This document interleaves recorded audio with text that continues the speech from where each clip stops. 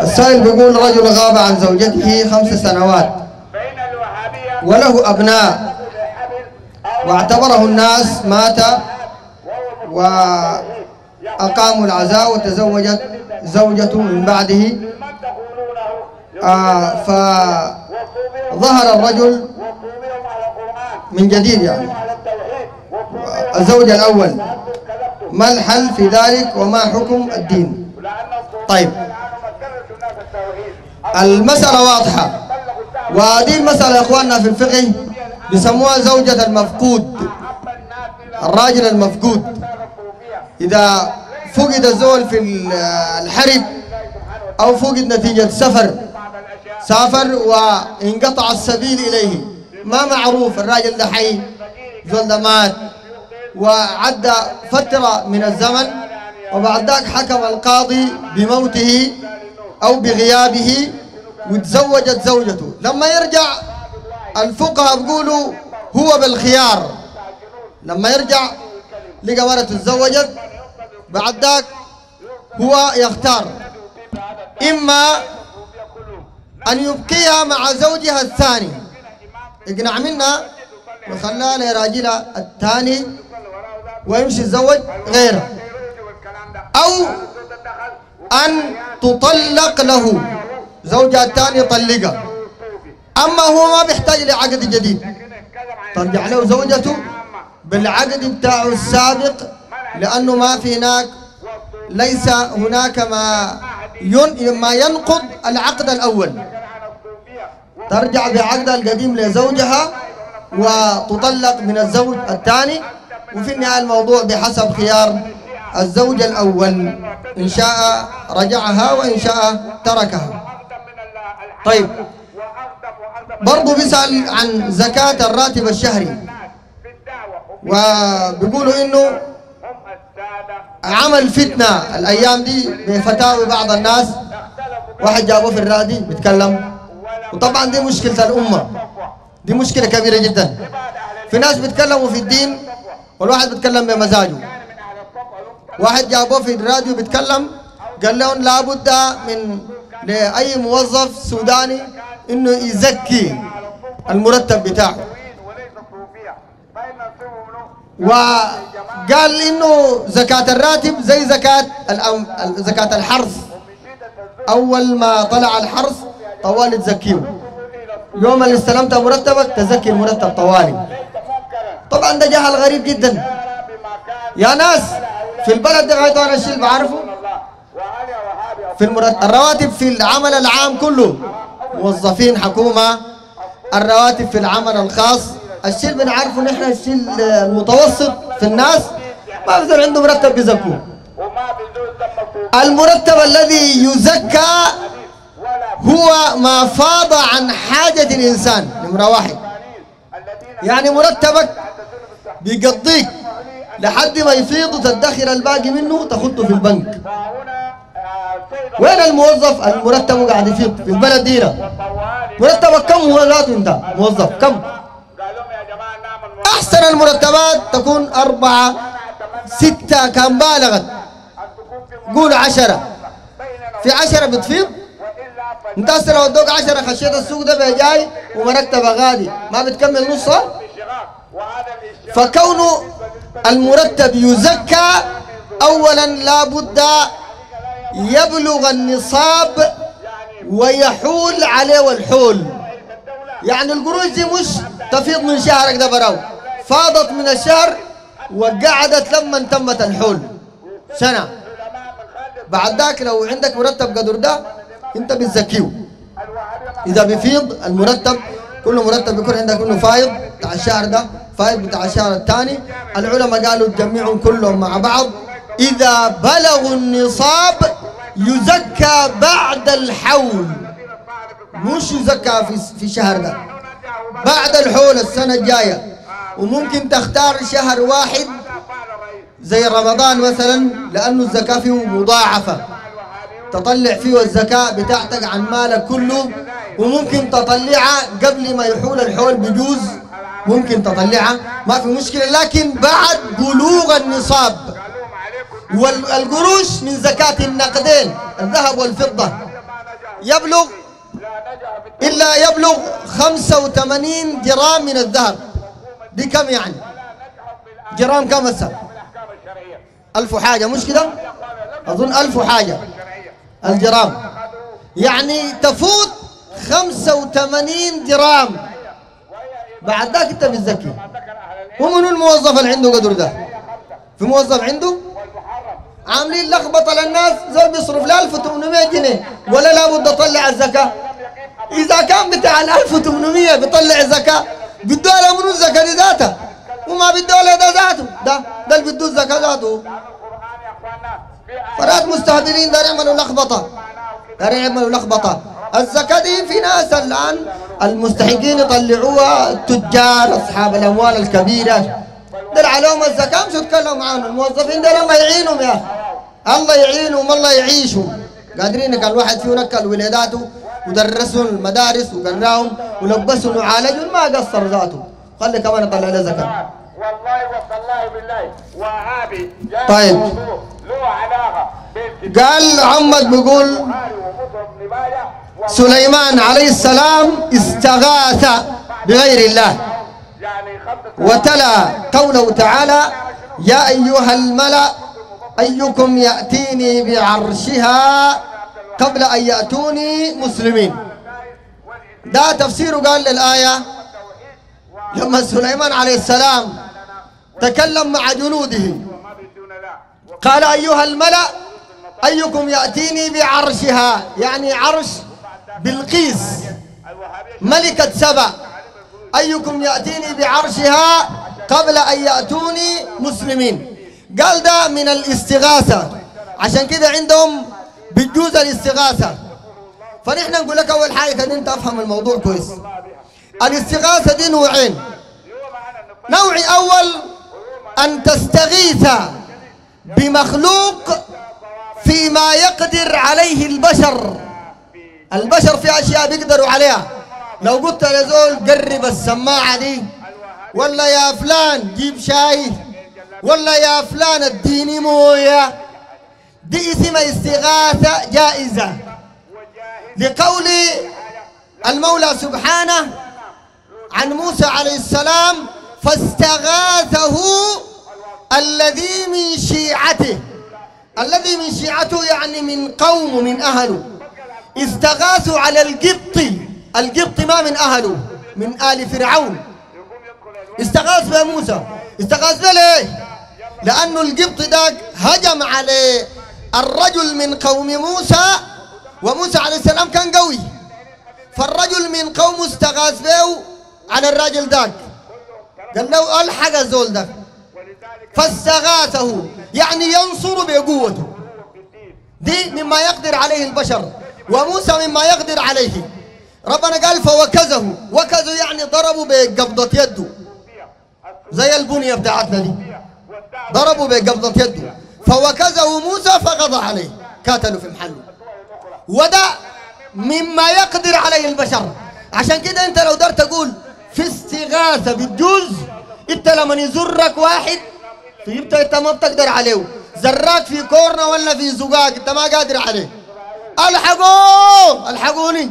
انزريت تستغيث بأقرب زول يجي مرقك ولا زنقك كلب في زقاق. ألحقوني. تكوري. دي استغاثة جائزة. لأنه من زنقة الكلب. وده فيما يقدر عليه البشر. بيجيك زول بعكاز بخارجك من الكلب ده. دي استغاثة جائزة. طيب وفي هذا يدخل فعل سليمان عليه السلام. لأنه استغاث بالجنود بتاعنه فيما يقدر عليه. عنده جنود. ربنا سبحانه وتعالى أدى سليمان من الخدم. الجنود اللي بيشتغلوا معاه. زي ما ربنا سبحانه وتعالى قال قال رب اغفر لي وهب لي ملكا لا ينبغي لأحد من بعدي. خد بالك سليمان ما زيك انت يا صوفي. انتبه للمسألة دي. سليمان عليه السلام ما زيك انت. ولا اللي أداها ربنا لسليمان. أداك ليها إنت. ولا أدى لأي صوفي تاني. ولا أدى لوهابي ولا أدى لغيره ده ملكي ربنا خص به من؟ سليمان. قال هب لي ملكا لا ينبغي لأحد. من بعدي إنك أنت الوهاب. ربنا قال شوف شوف ده ربنا أدى له. قال فسخرنا له. خد بالك. فسخرنا له الريح. تجري كيف؟ بأمره زي ما هو داير. تجري بأمره. منو من أولياء الصوفية ولا أولياء غيرهم؟ اللي ربنا سخر له الريح من؟ منو؟ من؟ ما الله قال فسخرنا له الريح. تجري بأمره رخان حيث أصاب. والشياطين. برضو ده سخرهم ربنا له. انت ربنا سخر لك شيطان؟ منو لك الشياطين؟ قال والشياطين كل بناء. بناء ده بيبنوا بيبنوا لسليمان ده فوق. ربنا قال يعملون له ما يشاء من محاريب دي الأبنية القصور وتماثيل وجفان. الجفان الجفنة دي القربة الكبيرة. وجفان كالجواب. وقدور راسيات. القدرة الكبيرة جدا. ده اللي بيشتغلوا معاه يعملون له ما يشاء. بيشتغلوا. ها وسخرنا والشياطين. كل بناء وغواص بيغوصوا جوا الموية. بيستخرجوا له كنوز البحار ولا آلي جوا البحار. دي الله سخرها لسليمان. يا تصوفي من الصوفية ربنا سخر له ده. عشان يجي واحد في الوحدة الحاج يوسف ولا في اللاماب ولا في خرطقة يمثل نفسه بمن؟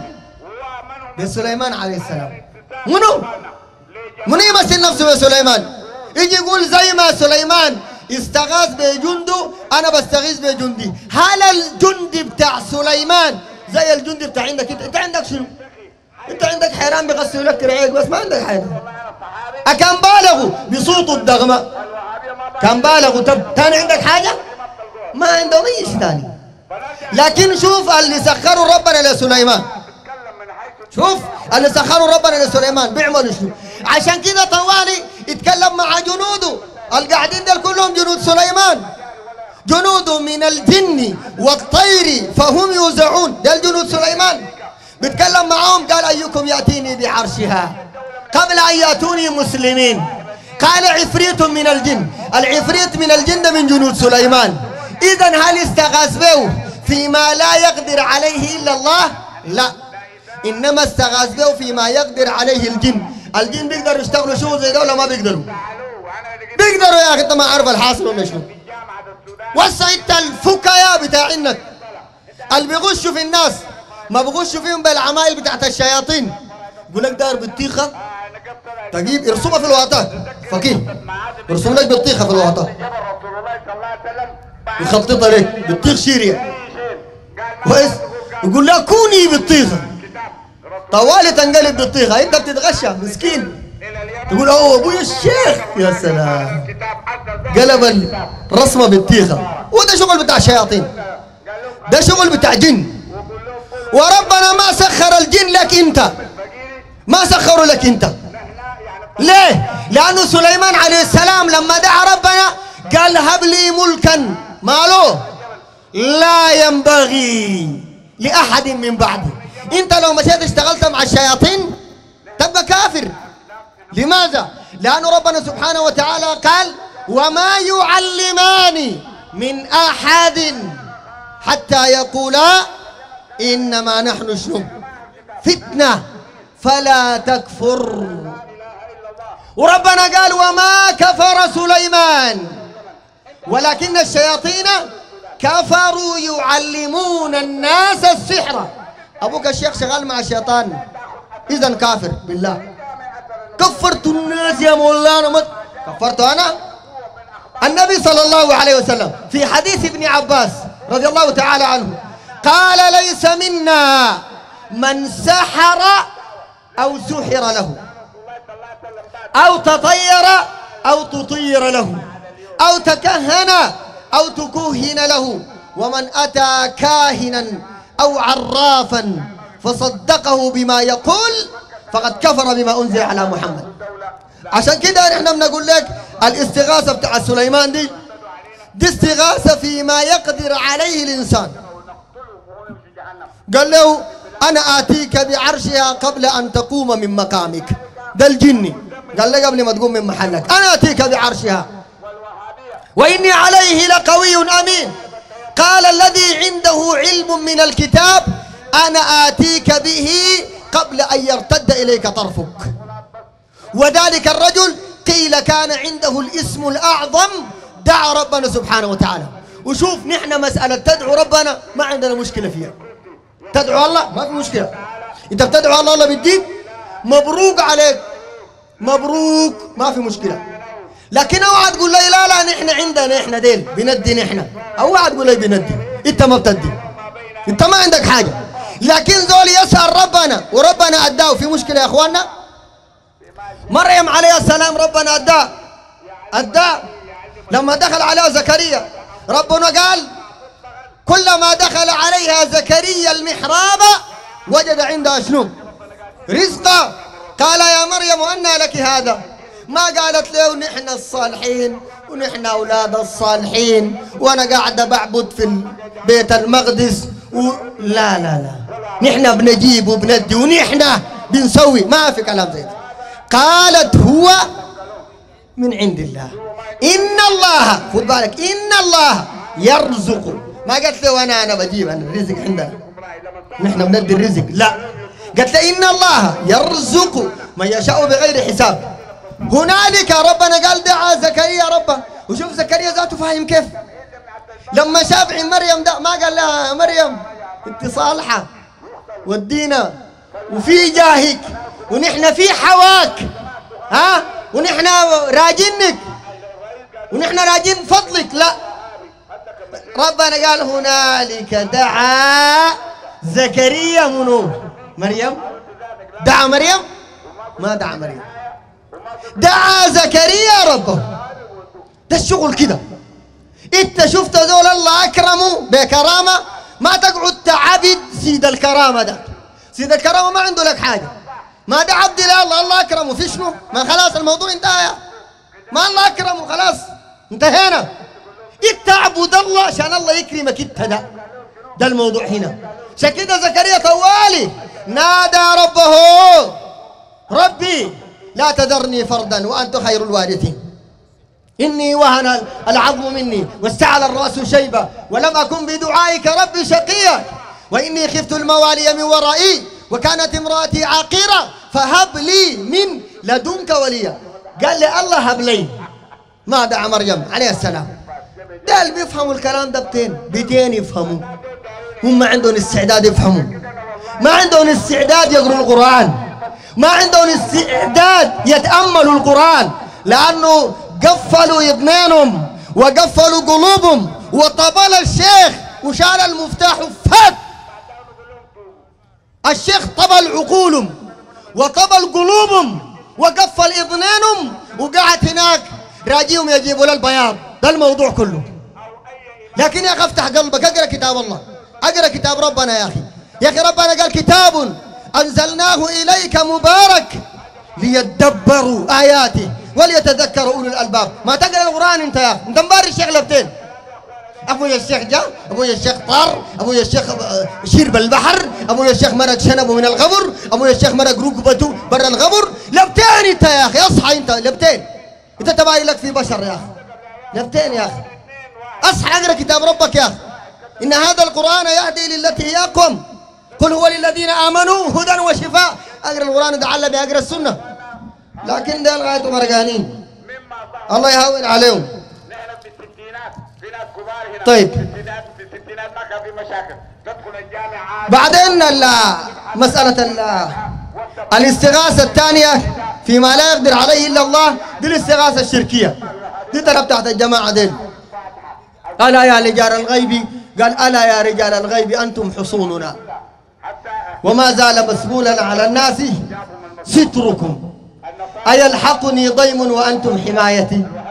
وألحس عطشانا وقد فاض بحركم.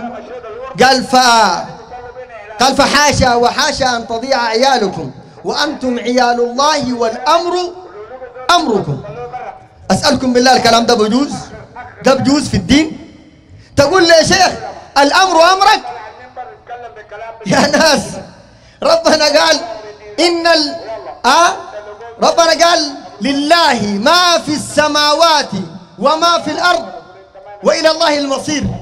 أي حاجة لله الأمر لله من قبل ومن بعد ويومئذ يفرح المؤمنون. الأمر لله ما له يا شيخ ما له فكير وايد الله يهون عليهم يا وهابي آه قال في حكم الحشيش البنجو هل من تعاطاه تنزل عليهم عدم قبول الصلاة أربعين يوما؟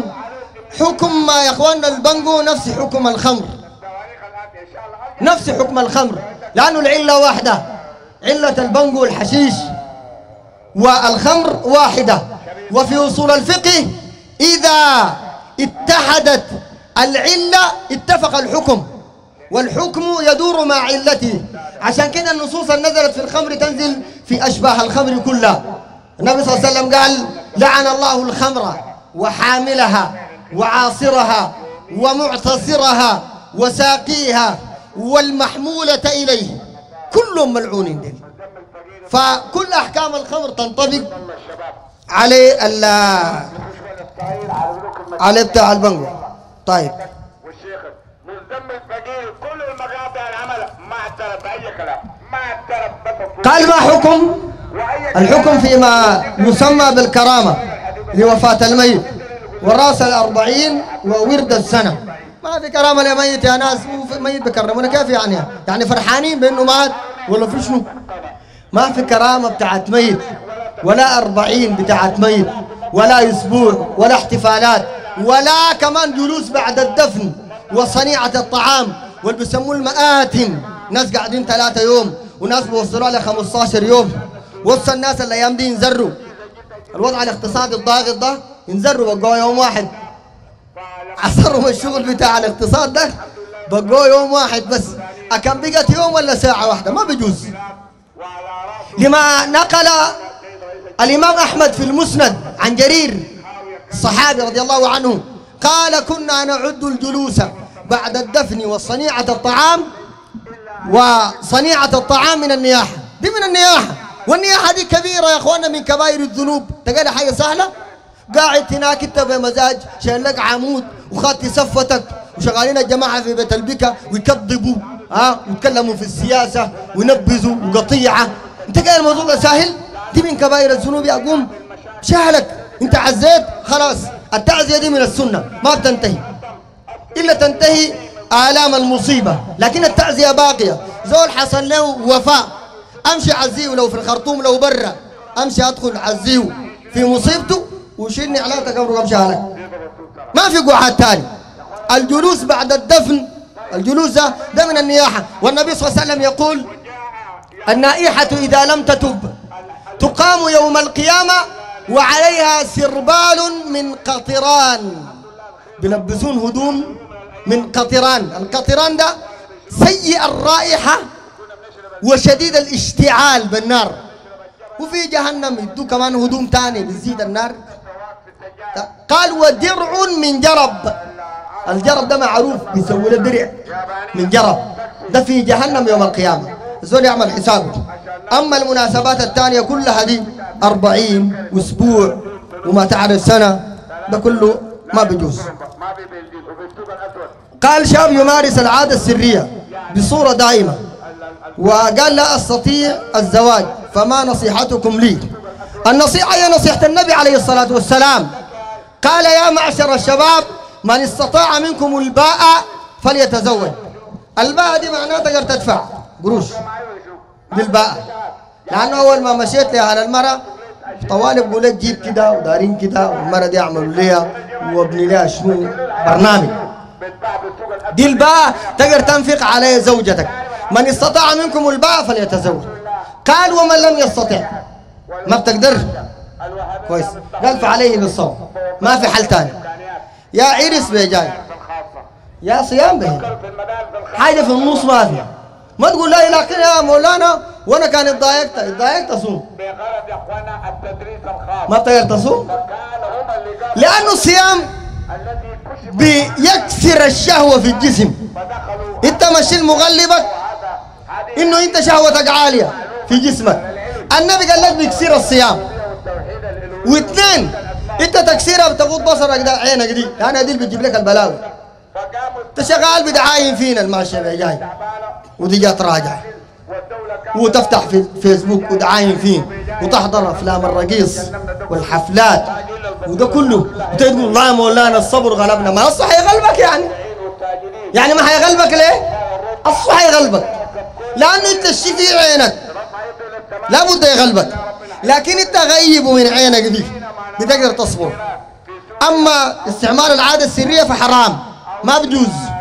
ما في يقول لك لا لكن بس أنت كانت ضايقتك كده شديد. أعمله. وخفيف ما تعمله. خفيف وشديد دي بعرفوها كيف؟ انت تعرف ذاته كيف ده خفيف وده شديد. دي كلها يا اخواننا من من الاشياء المحرمة. ما بجوز ما بفضل يفتيك فتوى زي المدرسية لا يقدر يوفر كراسات فكان بيجيبوا الكراسات ناس اليونسيف وناس اليونسيف دخلوا البلاد ما وجدوا أماكن. أنا لا اذكر يا اخوانا عشان طيب. يقوم يزعلوا. دخلوا محلات قال- اشتروا الأئمة. آه. انت بتاخذ 600 ما قال رجل زنى بامراه هل يجوز أن نتزوج بها؟ يا إخوان المواضيع دي كثرت والله لما بقت تطمم البطن. والله كثرت كثرت يا أخي قدري ما نفتح التلفون. بود وقال لك زول. يقول لك والله عندنا في الحلة واحد عمل كده. ولا مرات بدق لك هو ذاته. يقول لك هسه انا مولانا أعمل شنو؟ يا ود الناس الله يهديك. إنت من الأول اللي ورطك شنو ذاته؟ يقول لك الآن والبنت حامل وقالوا يعقدوا لهم. طوال كده يتم الموضوع يقف. يا زول لا يعقدوا لهم ولا أي حاجة. يقول لك الستر الستر يا مولانا ما يسترون. ديل ما يسترون. يخلوهم كده بس. لأنه ربنا سبحانه وتعالى قال ولا تغربوا الزنا. شوف الكلام ده كيف. ولا تغربوا الزنا. إنه كان فاحشة وهو تاني شنو؟ وساء سبيلا. الله قال لك في القرآن إنه سبيل الزنا ده سيء. ما تجي تعمل أي معالجات ثانية واستروا البيت وما في داعي والفضيحة في الحلة خليهم يتفضحوا. عشان تتوب التانين ديلك على الأقل. تتوب التانين ما يتجرأ الإنسان على أعراض يا أخي. يا أخي هو ما تذكر يومه اللي تجرأ على عرض مسلم. تجرأ على عرض إنسان. هو ما تذكر اليوم العمل العملية اللي عملها دي؟ عشان يجي يقعد معالجات بالورق ومعالجات بالحرام خد بالك معالجات بالحرام.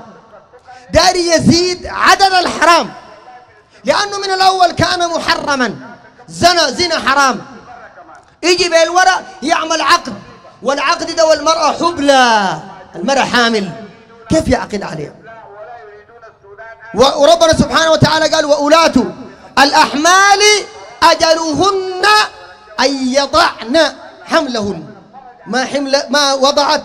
ما بجوز الزواج بها. لا عليك أنت ولا لغيرك غير الزول اللي زنى بها. ما بيجوز يتزوج بها.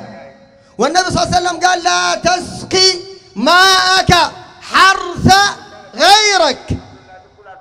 شبه النبي صلى الله عليه وسلم بالزراعة. لما انت يكون عندك ها زراعة زارعة زول تاني ما يجيب الموية بتاعته. يجعلها في زراعتك انت. لا تسقي ماءك حرث غيرك.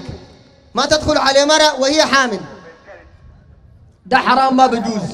والمعالجة زي دي دي من المعالجات المخالفة للشرع. عشان كده بتزيد من المشاكل يا ناس. العلاج ده بيزيد المشكلة. ده زي بالمناسبة المسألة بتاعت التأمين. التأمين بتاع السيارات. انت عارف التأمين ده؟ الناس بيقول لك أنا بأمن لأنه لو حصل لي حادث شركة التأمين بتتحمل عني الدية. والناس متكيفين يقول لك يا زول أمنا يا أخي الحمد لله. مرتاحين أنا معمن عربيتي شامل كامل ما عندي أي مشكلة. أنت عارف لو لما تنظر لأنه ده حرام. لما تنظر لإفرازات هذا الفعل بتلقاه خطيرة جدا. خلت الناس يتساهلوا بالدماء. الواحد يقول لك أنا مؤمن يا عمك مؤمن. بردم بس بعد ده. جيت قدامه بطقك جيت وراه بطقك. ما عنده مشكلة. ب- بيتهاون بالأرواح. لكن الزول لو نظر للعلاج الشرعي العلاج الشرعي الدية والدية غالية وتدفعها أنت. تدفعها العاقلة بتاعتك أسرتك. تدفع الدية. يدفعون 330 مليون يقعدوا يلقطوا فيها ويفتشوا وانت يرموك في السجن تقعد هناك تتأدب. عشان كده ربنا قال ولكم في القصاص شنو؟ حياة. القصاص فيه حياة يا ناس. لما ده يقتصوا منه ويطبقوا عليه والحد الشرعي بيتأدبوا الناس التانيين. عشان كده زي ده زول زنا ببيت أصلا ما في حاجة اسمها عقدوا لهم. والحقونا يجيبوا المازون ما يلحقوه خليه. والحلة كلها تعرف. البيت دي جابت الجنة ده من وين؟ ده فلان دات. طق فيها مقلب فلان دات. بس. فضيحة يعرفون الفضيحة دي بتأدبه وبتأدب الجماعة التانيين. لو في واحدين ساي ها عندهم مواعيد بالفيسبوك الواحد فيهم طوالي بيمشي بيعمل حظر للزوره دي يقول لك والله جابت لها جنيات وفضيحة بالحله نعمل حساب نحن. ده كده العلاج الشرعي. طيب.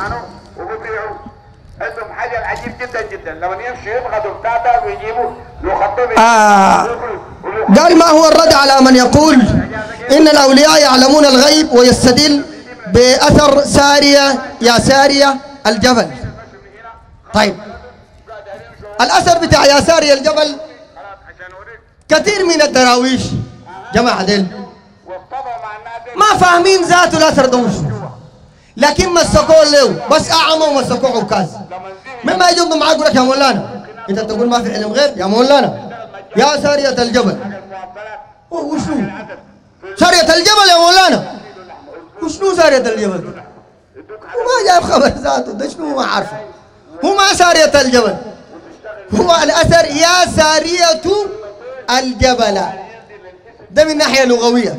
انت لو قلت سارية الجبل من ناحية لغوية ذاته غلط. ولا فيه توسل ذات ولا فيه دعاء ولا فيه شيء ولا فيه علم غيب القصة إن عمر الخطاب كان بيخطب. وعنده واحد من قواد الجيوش بتاعته اسمه سارية ابن زنين الخلدي. ده كان في جبال العراق جبال نهاون. لعلها في العراق. كويس؟ فعمر الخطاب أثناء الخطبة قام قال له كلمة. قال يا سارية الجبل الجبل. يعني عليك بالجبل. إلزم الجبل. من استرعى الذئب الغنم فقد ظلم. وسكت. لما نزل من المنبر وسارية سمع الكلمة دي هناك. في اسمها شنو؟ في العراق. الجبل معناه إلزم الجبل. طوالي حرك الجيش وخلى ظهر الجيش على الجبل. واجهة الجيش على العدو وانتصر الحمد لله لما الكلمة دي نزل من المنبر الصحابة اللي قاعدين سألوه قالوا أوحي بعد رسول الله؟ انت جاك وحي يا عمر تتكلم مع سارية؟ قال وما قلت. أنا قلت شنو قالوا له قلت كذا وكذا. قال ما قلت. دي في رواية عند اللالكاي ودائما يدل لك إنه ما بيعلم الغيب. هو الكلمة اللي قالها فوق في المنبر لما نزل تعيد في الأول نساء ذاته. قال ما قلت؟ قالوا بل قلت يا أمير المؤمنين كذا وكذا. ثم تذكر. ذكر بعد ذلك. قال كلمة أجراها الله على لساني يعني لا أنا جايب خبر بسارية مالو يعني عندي كلام مع سارية. لا فاهم موضوع سارية بالضبط شو.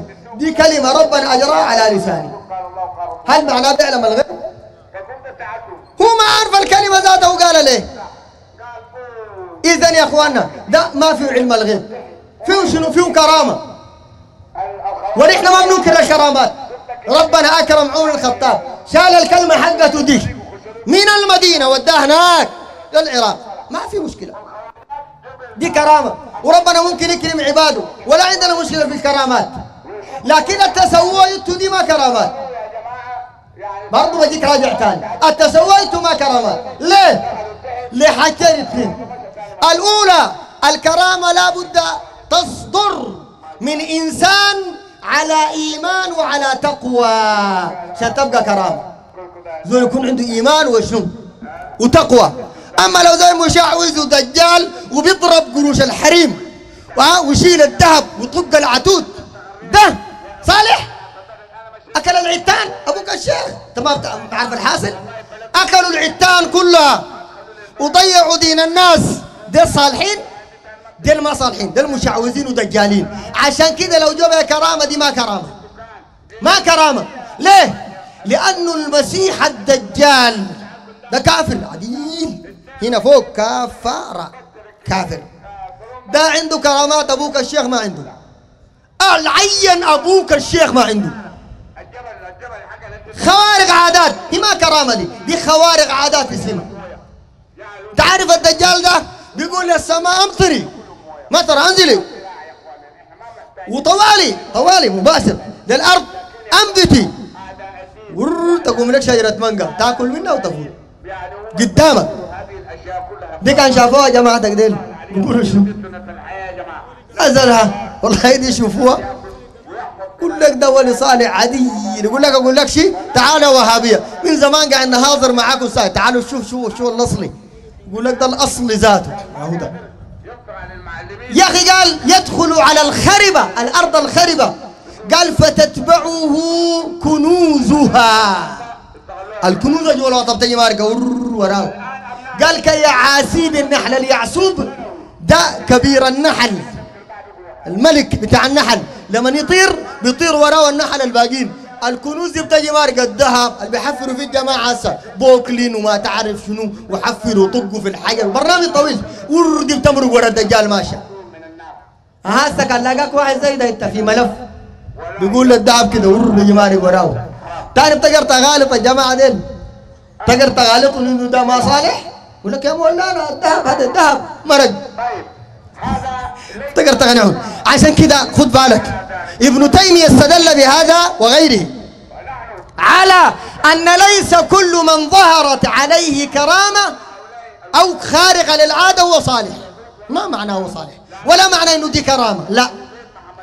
وشرط الكرامة هو الولاية مش العكس. هم بيظنوا أنه الكرامة دليل على الولاية وده غلط. انتبه الكرامة دليل على الولاية غلط. الصح شنو؟ الصح الولاية دليل على الكرامة. يعني زول لو هو في الأول مستقيم على الدين قرآن والسنة ما عنده شعوذة ما عنده شرك ما عنده خرافات ما عنده لعب بالدين غيره زول مستقيم وظهرت عليه كرامة نقول دي كرامة صحيحة. أما لو بقى مشعوذ ودجال ده لو ظهرت على يده خارقة ما بنقول كرامة نقول دي شعوذة ودجل. وبالتالي يا إخواننا آه مسألة الكرامات آه مسألة الكرامات الشرعية هي ثابتة بالقرآن وبالسنة لكن شغل الجماعة ده ما كرامات. دي كلها ما عندها قال إذا رأيت منهم خذ في بالك دي. دي النقطة الثانية في شروط الكرامة إنه تكون موافقة للشريعة ما مخالفة. قال إذا رأيت منهم من تعدى وناح. ده في كتاب سراج السالكين كتب قاعدة. كتاب اسمه سراج السالكين. إذا رأيت منهم من تعدى وناح وفعل أفعالا قباح ولو أنه يأتي إلى البهائم. يأتي البهائم دي تفاهمها بس خليك على كده. يأتي البهائم ويقول إن إرادته النكاح. قال فربما حصل للنخل اللقاح. انت فاهم الكلام ده؟ قرض على كده بس. دي كرامة؟ داك بيطوق مريسة وقال دي كرامة. دي كرامة؟ الله يكرم زول بشرب مريسة؟ اذا الزول لو فهم الكرامات الشرعية الواردة في الكتاب والسنة بيعرف إنه شغل الناس ده ما عنده علاقة مع الكرامات ولا مع الولاية. نكتفي بهذا. نلتقي إن شاء الله الحلقة القادمة. والسلام عليكم.